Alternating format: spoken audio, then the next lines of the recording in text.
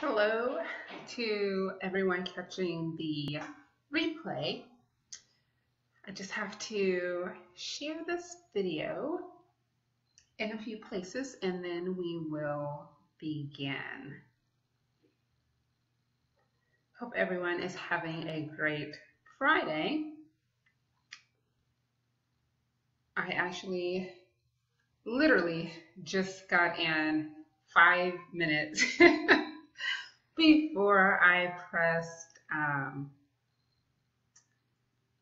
before I press you know uh, a start broadcast. So I am working to get everything up. Just give me a moment, giving people time to hop on as well and then get us up on Instagram.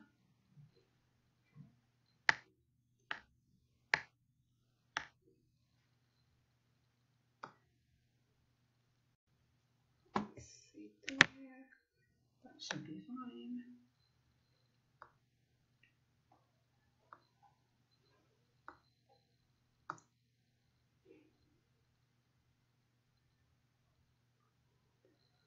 Okay, I am up on Instagram. And so just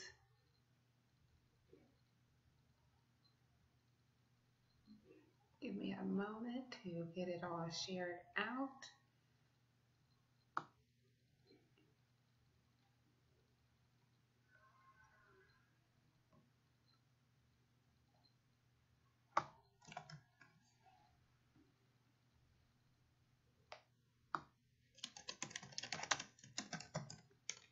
Sorry for the typing. Like I said, normally uh, this is all set up, but I literally just came in from an event and got in about five minutes ago. So I am still playing around. All right. I see that we have some people on Facebook. I'm going to go ahead and get started because I want to make sure that I still end by one o'clock or beforehand. Today's topic is the pros and cons of the Very Smart Brothas uh, sale or VSB. Most people know as VSB who are followers of the blog. Other people may have just heard about the blog uh, because of the sale, but I'm going to share the pros and the cons of why this is a big deal for content creators of color. Before I hop into today's topic, which is going to be quite interesting actually, um, because I do have a personal perspective, I do have a lot to say on it, but it's also a very huge win for our community. It's a very huge win for um, content creators of color. So I am definitely going to, uh, sorry, closing out of the window, definitely going to share why this sale is such a big deal for our industry, our community. Before then, let me introduce myself and the group so you know who we are and then we will hop into today's topic. So my name is Vernetta Arfrini, and I'm the organizer of the Houston African American Bloggers Association, otherwise known as HAB. HAB helps our members get paid, gain exclusive access to high connections, and stay up to date on the latest industry news, trends, and strategies. We do this because we know how challenging it is for African American voices to not only be heard, but to be respected and accepted in the online content creator world. So that's just a little bit about us. So let's kind of hop into today's topic. So we're talking about the pros and the cons of the Very Smart Brothas sale. Now by now, you probably, if you're in this world, and you pay attention to what's happening in this world, you know that Very Smart Brothas was bought by Gizmodo Media. You remember that uh, the Motorola flip phones? Hello, Moto. anyway, everybody wanted uh, a Motorola Razr, well, at least when I was in college. That's that's been some years. But anyway, so Gizmodo Media is owned by Univision, Univision, Universal, NBC.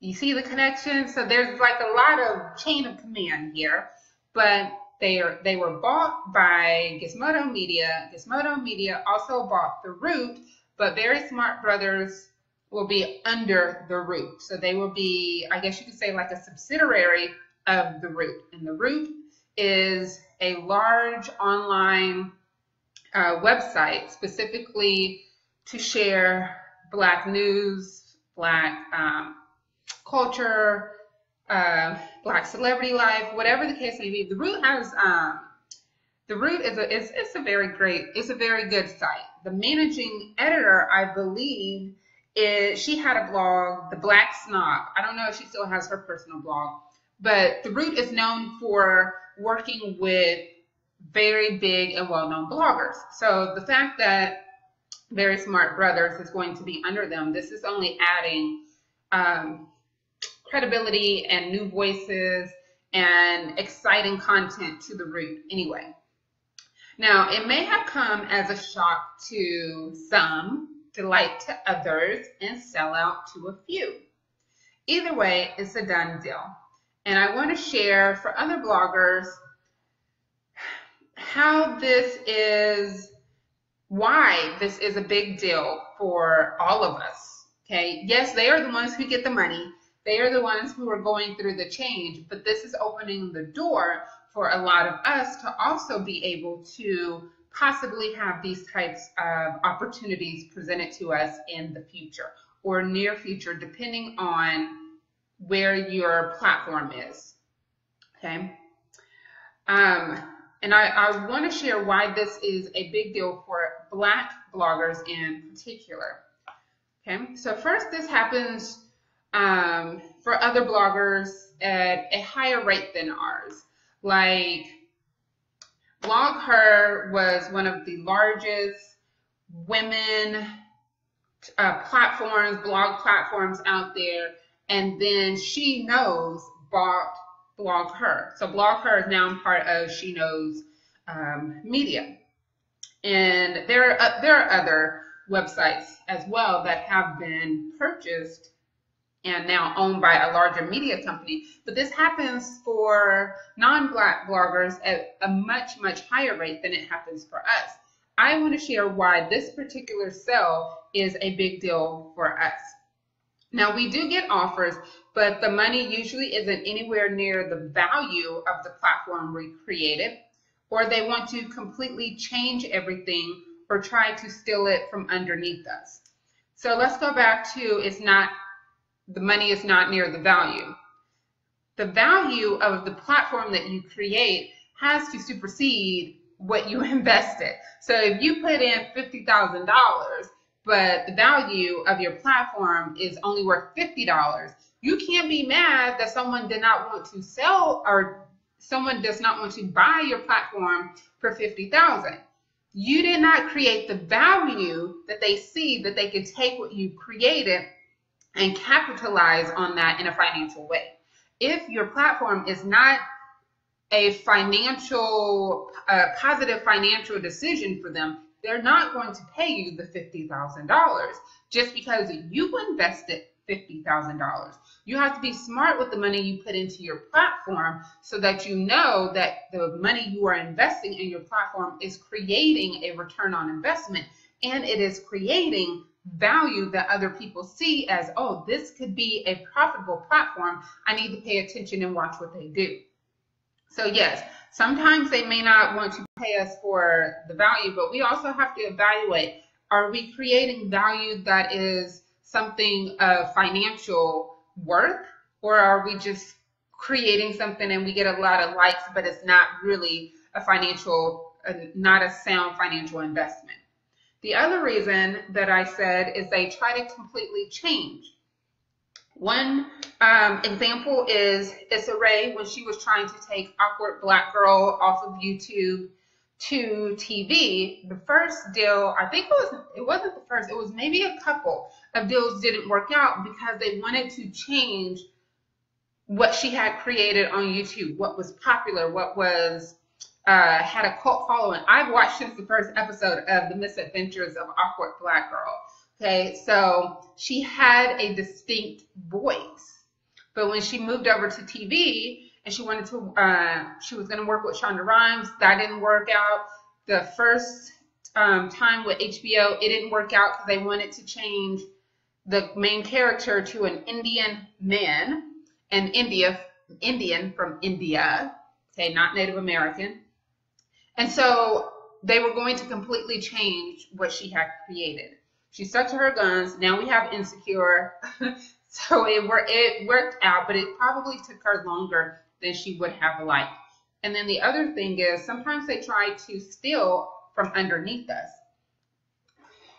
The only way people can steal from underneath you is if you do not have legal structure in place, you do not have an operation in place that makes sure that the platform is running with or without you. A lot of times we jump into things because I want to be the boss, I want to be the CEO, I want to create something, and then you don't have any foundation. You don't have probably a business bank account. You probably don't even have it as a legal entity, as a DBA. You don't have any type of structure. You don't even have an attorney that you can have on retainer or that you can call and pay if you get into some type of trouble. The reason people can steal your platform from underneath you, you didn't have it protected to begin with. And if you are a savvy business owner, which you should be if you're trying to make money from your platform, then you would be able to know what to do in order to protect your platform. So those are three reasons that a lot of us usually do not get to sell our platforms to other people.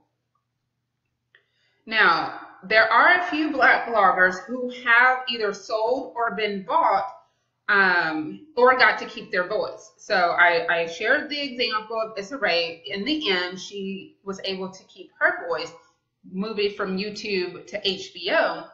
But there are some bloggers who have sold their blogs. So the very first person I've ever known, well, a black blogger that I've known is Kathryn Finney. She's of Digital Undivided, but she had a fashion blog and she sold her fashion blog. Um, it was some years ago, probably 2012, 2013.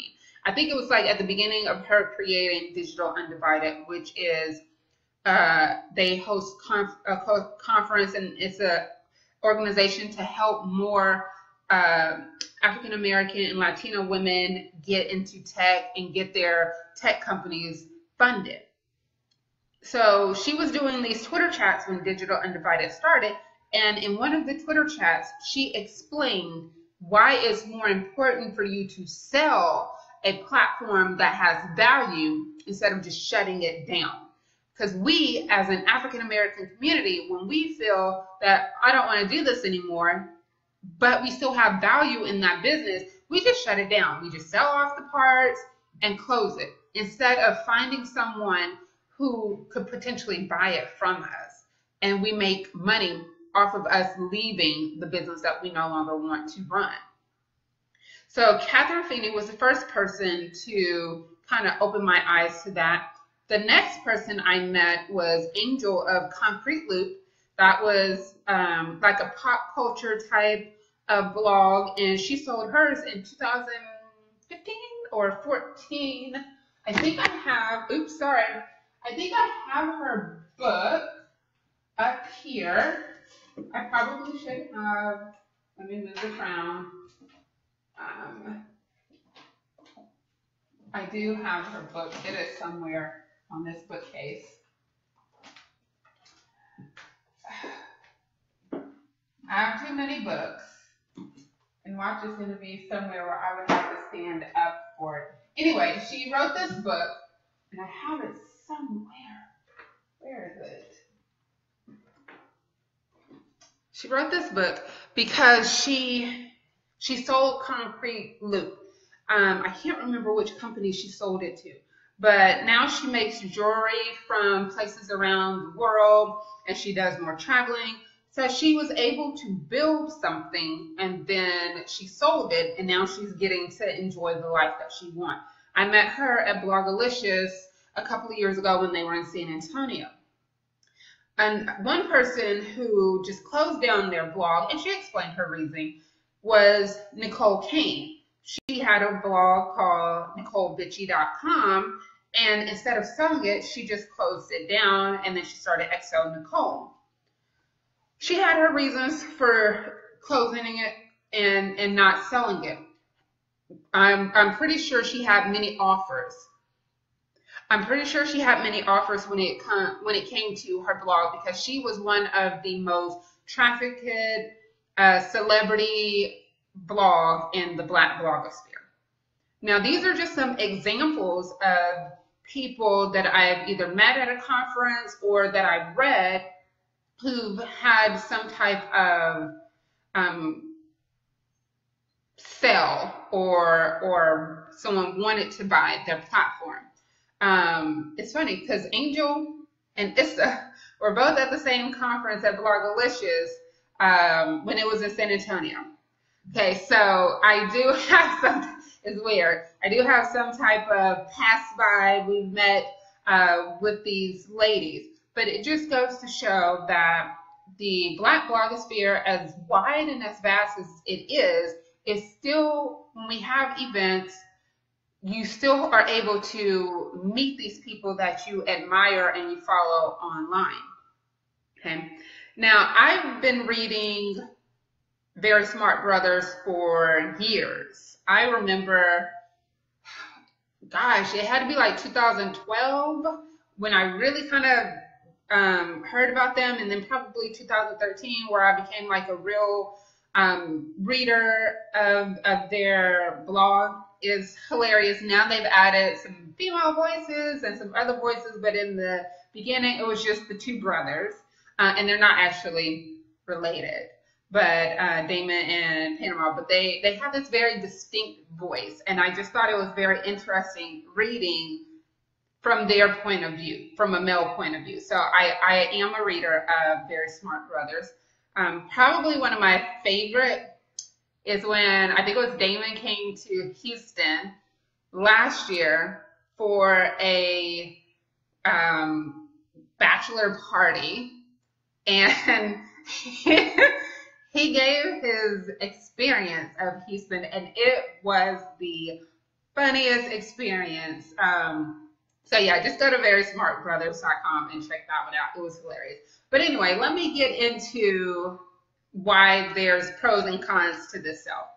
Okay, so I'm reading the very smart brothas have sold their blog, but they are actually staying on as employees. So even though they are not the owners of the platform they created, they're still going to work there. Now, this is a very interesting turn of events for a lot of people because people feel if you sell something, then you should probably walk away. I think, and this is a personal opinion, that this was a very good decision for them. They worked nine years to create this platform to get 2 million views a month. Why walk away? Why walk away? Because you're now going to be the employees and not the employer. We live in a time where everybody wants to be an entrepreneur, everybody wants to be the girl boss, everyone wants to be whatever, some big title on a business card, but you're struggling. And what they said in their blog post when they explained the sell is that they were running a blog of that magnitude with literally one and a half people if you have any platform, you already know how much work you have to put into it to keep it running on a consistent and regular basis, to keep consistent and fresh content out, to market it, to attend events, conferences, to speak, to create products. You know how much work it is. So to have something as big as their platform and only have one and a half people really able to give it their all, I really think it was a smart decision for them to stay on as employers because now they get steady income on something that they created. So even though some people may see them as sellouts, what they are doing, they can now establish themselves financially in their personal life and not have to worry about a lot of the administrative side of running their blog. Now, earlier I stated that I was at an event this morning and I was talking to two of my friends after the event was over. And it was a very, it was a very great, interesting conversation. And we brought up how everyone is not meant to be an entrepreneur or they have pretty branding, but they have maybe a negative bank account. And then I mentioned at Black Enterprise Entrepreneur Summit that the theme is seen there was that everybody wants to be CEO, but then you're CEO, but you're the only employee, so you're not technically CEO. What I'm getting at is as a community, we all want to own something. That's great that we want to own something, but sometimes we have to know when we've reached our maximum capacity with our knowledge, our skill level, our money. When we've reached our maximum capacity, we have to be able to merge and that's what, you know, my friends and I talked about this morning. We have to be able to merge with other people who are going to help us continue to grow. Because when you maxed out, there's nothing else you can do. And it doesn't matter how hard you try, you hit the wall and there's nothing else you can do. So the best thing some people can do is to merge or sell or be acquired by someone else so that they can continue to grow the platform that they've created. I know it's hard. You you sat there and you've given it your blood, your sweat, your tears, your money, your time. And then for someone to now come in and tell you what to do. I know it's going to feel like a gut punch. It will. But in the end, do you want to have your pride that you own this and stay broke? Or do you want to go ahead and come on board with someone else, make money for your family, have the money to do what you need to professionally and continue to grow that brand under someone else's umbrella. That's a decision a lot of people make when you get to a certain level with your blog or with your YouTube channel or with your whatever you're creating. Okay, so I'm going to share three pros and three cons from this sale that I see. Okay, so let's start with positive. So the first pro that I see is they created something worth being sought after because Gizmodo wasn't the first person to approach them to buy Very Smart Brothas. Um, they said that they've had multiple offers and they had to go through the process to decide which company they wanted to um, to sell to. So they created something of value. I stated it earlier you have to create something that people see a value that they can put a dollar sign on. Just because you put in $50,000 doesn't mean someone else is going to see $50,000 worth of value. You have to create something that people can put a dollar sign to. Second thing, this opens the door for more black bloggers to access larger media companies so they actually get paid for the work that we do now that Very Smart Brothas is owned by Gizmodo, they're under the root, they can pay writers an actual salary. Well, probably not a salary, but you know, if you're a freelance writer, you can actually get paid because we all know the the trouble that Ebony is having paying their freelancers because Ebony is going through a little bit of a, a, a transition. They were bought last year by an actual company in Austin, Texas. Um, I can't remember the name of it. So they're going through a transition, but they had a very public beef on Twitter about how the freelancers weren't getting paid. So this is a great opportunity because let's be honest, Gizmodo, Univision, they're probably, well, Univision we know is Hispanic owned. Gizmodo, it sounds like it's Hispanic owned They have the money. We do too. We have one point what 1.1 trillion dollars in spending, but we don't use that spending capital. We don't use that one trillion in spending capital for investment. In the Hispanic culture, they invest in their businesses. So Gizmodo has the money to make sure that Very Smart Brothas can pay the writers who come on to their platform and write for them. This is an opportunity for people to pitch to this platform and get your your name in front of a lot more readers and then get paid to do it. Because how many of you are pitching to other websites but they can't afford to pay you because they can't even afford to pay themselves? You have to think about that. It's hard to rebuke large capital backing to further your brand. Exactly. You why turn down money? if it's if it's legal, if it's going to help your business, and you have to kind of swallow your your ego because it's not pride, it's ego. You have to swallow your ego a little bit and you know accept this money and move into a separate role. Why not? Too many of us want to be owners, but we're we're sitting on a broken foundation, negative bank account, and no customers or no readers. That's not a business. So we can't fault them for being smart financially. The third pro that I see is as an industry, this sell is shifting us into real media companies that have that share black experience with actual black voices on a much larger scale and then it could still pay as writers. So let me kind of break that down a little bit. I'm going to talk about Black Twitter in a couple of weeks, but I think it was the LA Times hired a writer to cover Black Twitter.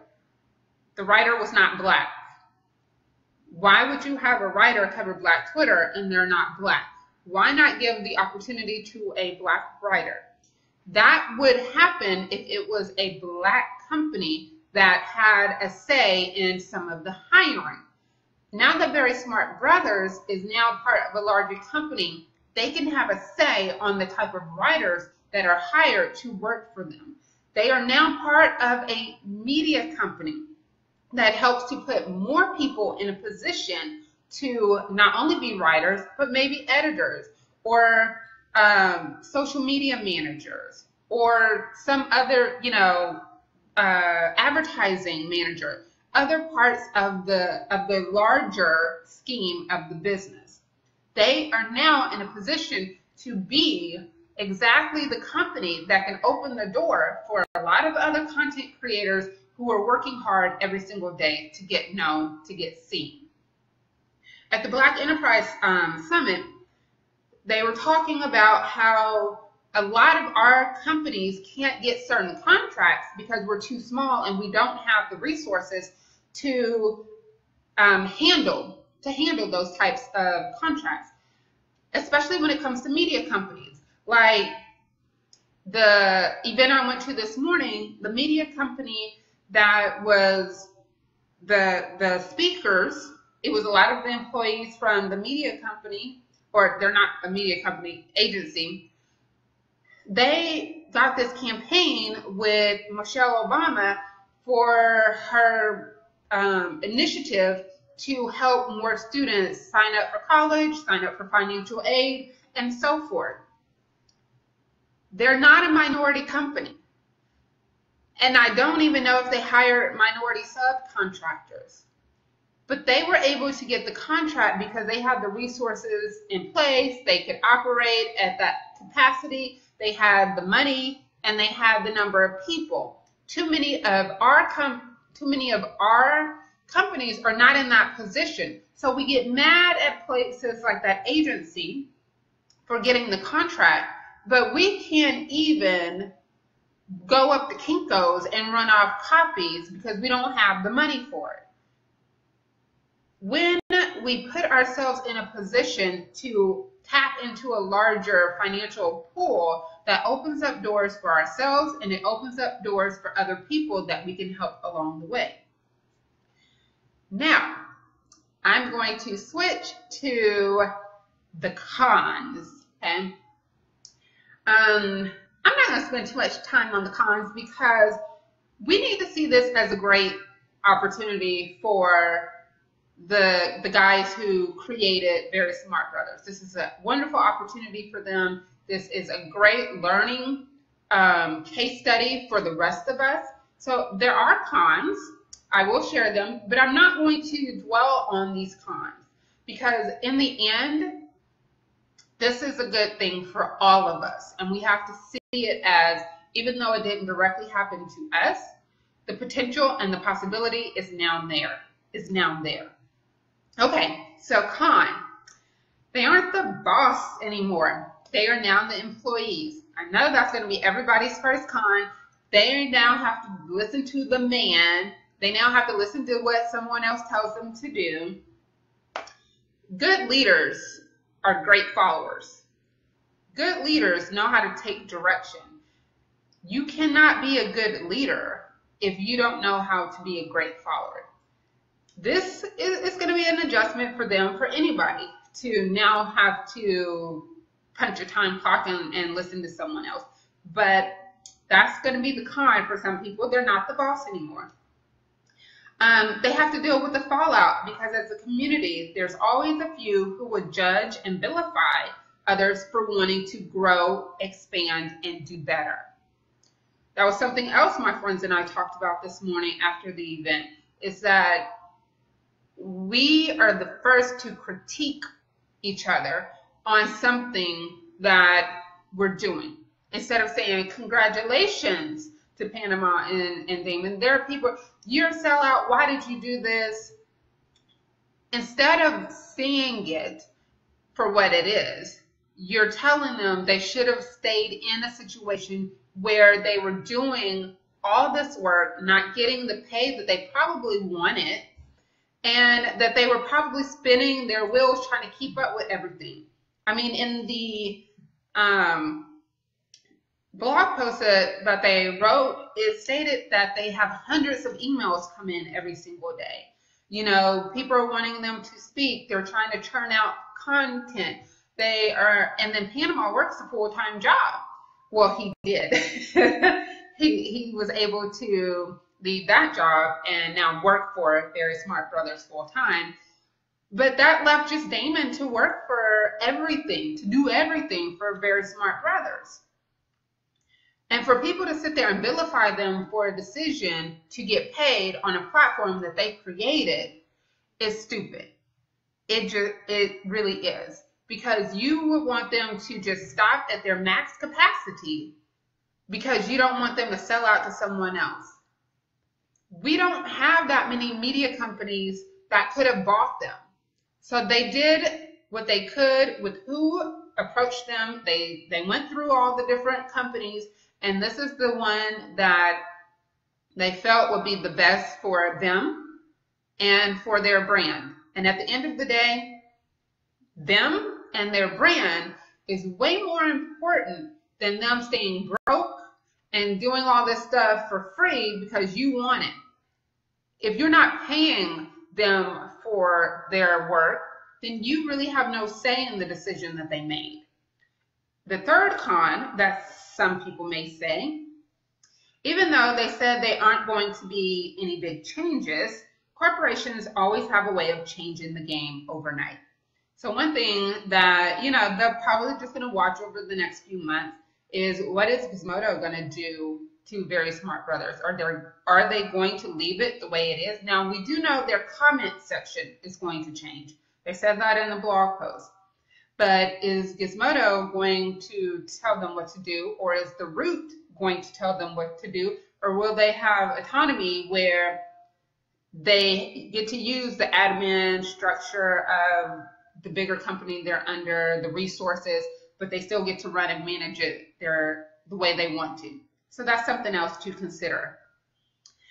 Okay, so let me go back over the pros. The pros, they created something worth being sought after to buy. Two, this opens the door for more black bloggers to access larger media companies so they actually get paid for the work that we do. And three, as an industry, this sale is shifting us into real media companies that share Black experience with actual Black voices on a much larger scale. And then the cons. They aren't the boss anymore. They're the employees. Two, they have to deal with the fallout because as a community, we always have people who want to judge and vilify others for growing, expanding, and wanting to do better. And then three, even though they say there's not going to be any big changes, we just have to wait and see what the Root and Gizmodo will do with Very Smart Brothas platform. Now, personally, I see this as a great opportunity for them. I wish them all the best. I'm still going to read and laugh at um, the posts they create because they do have excellent content. I mean, some of the funniest content I read comes from Very Smart Brothas. But this also is something we have to think about. As Black bloggers, we have to see things from a different perspective. We're no longer hobbyists. We're no longer sitting, you know, in the corner of our bedroom, hacking away at night outside of our nine to five. This is an industry. We can create businesses. We can sell. We can be acquired. We can merge. That's what real businesses do. Or it wouldn't be classes called mergers and acquisitions. that wouldn't even be a term in accounting if it didn't happen. We are now becoming an industry.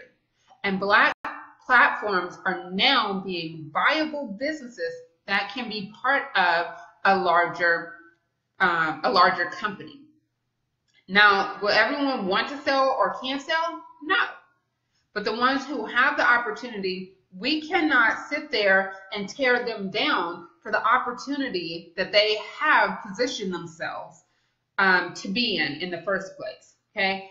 We need to have our own exit strategy when we decide we want something bigger and better for our platform, or we decided, I don't want to do this anymore. What am I going to do with my blog? Do I just shut everything down? What do I do? You need an exit strategy. If you are a real entrepreneur, if you are a real business owner, you would know what an exit strategy is and you would have an exit strategy in place for your platform. Um, this sale is exactly why attending HAB Blog Bootcamp is a must you are going to actually meet people who run businesses based on platforms that you see each and every day. You are going to learn about the actual business side of this industry. Also, we are going to have Blog Tank.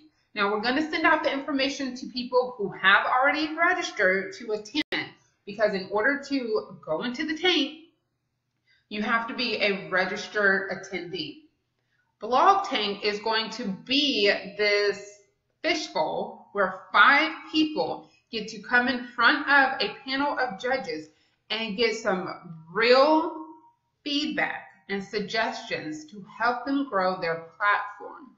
The winning person, um, I don't know the term, the winning person will get a hundred dollars to help with their blog, their podcast, or their YouTube channel.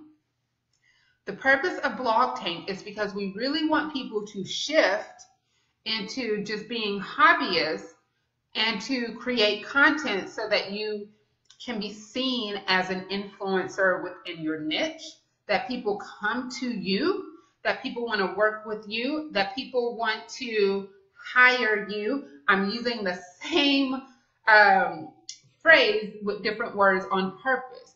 The entire point of our boot camp this year is so that you can take content that you create and position yourself as an influencer. Sometimes we need a little bit of money to do that. And that's what Blog Tank is going to do. Help you get that little bit of money to either buy ads or attend some networking event or whatever, or even buy your domain. Some people are still on a free site. So if you have to buy a domain, you have to buy hosting. $100 can do that for you, especially if you use HAB's Bluehost affiliate link. Um, I will put that out there. We are an affiliate for Bluehost.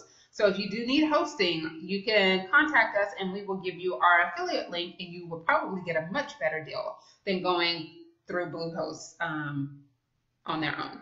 Anyway, We look forward to seeing everyone at HAB Blog Bootcamp 2017. This is our third annual Blog Bootcamp. It is always the first Saturday of August every year. This year it is August 5th at the Houston Business Lounge, which is a Black owned co working and event space. We are sponsored by Search for Her Existence, otherwise known as SHE, which is a professional leadership development firm for women. Also, she is a great IP attorney, intellectual property.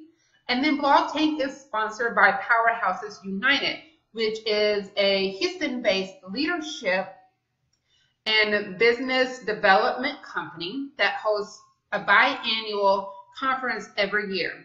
If you come into the Blog Tank this year, you get a chance to enter to the pitch competition for Powerhouses United. Now they're going to give out a lot more money than we're giving out.